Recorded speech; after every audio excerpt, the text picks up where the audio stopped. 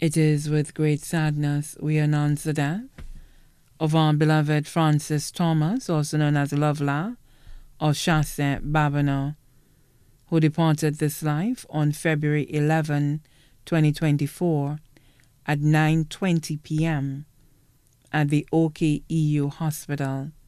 He was 66 years old.